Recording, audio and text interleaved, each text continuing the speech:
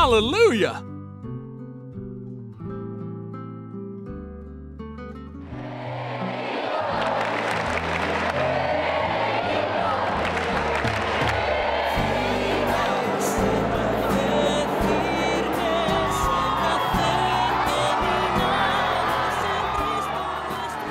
Herr Weihbischof Timmer Evers, wie fällt Ihr persönliches Fazit des Weltjugendtags aus?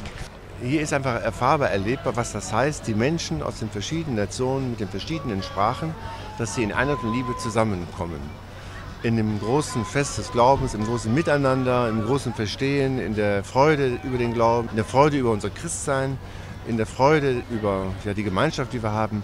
Also das muss ich sagen, das ist immer wieder äh, beglückend, wenn wir das erfahren und erleben können. Das macht eigentlich sehr viel Mut, wenn ich an die, die Zukunft unserer Kirche denke, dass es immer wieder Menschen gibt, auch junge Menschen gibt, die in der Kirche ihre Heimat suchen.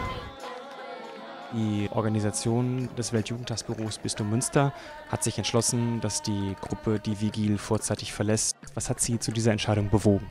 Zunächst mal äh, konnten wir leider nicht äh, auf die für uns vorgesehenen Plätze und waren eigentlich in keinster Weise für eine Übernachtung für Tausende oder Abertausende Pilgerinnen und Pilger gedacht. Es gab äh, zu wenig äh, Erste-Hilfe-Einrichtungen, es gab fast gar keine Ordner, die die Fluchtwege freigehalten haben, es gab keine ausreichende Beleuchtung. Im Laufe des Unwetters gab es dann aber einen Unfall, dass eine Traversenkonstruktion umgekippt ist und es sechs Verletzte gab, äh, zum Glück nicht aus unserer Gruppe, aber da war für uns dann der Punkt, dass wir gesagt haben, hier ist die Sicherheit nicht mehr mehr gegeben und wir müssen leider, leider jetzt hier abbrechen und unsere Pilgerinnen und Pilger sicher hier vom Gelände bringen und dann eben verfrüht die Heimreise antreten.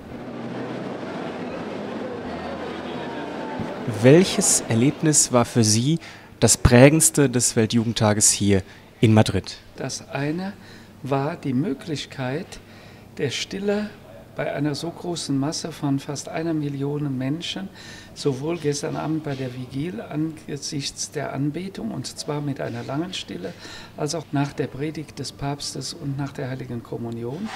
Und das Zweite war das Erlebnis, mit so vielen Münsteranern zusammen sein zu können am vergangenen Freitag. Das hat mich schon sehr berührt und mich noch mehr und tiefer in das Bistum eingefügt.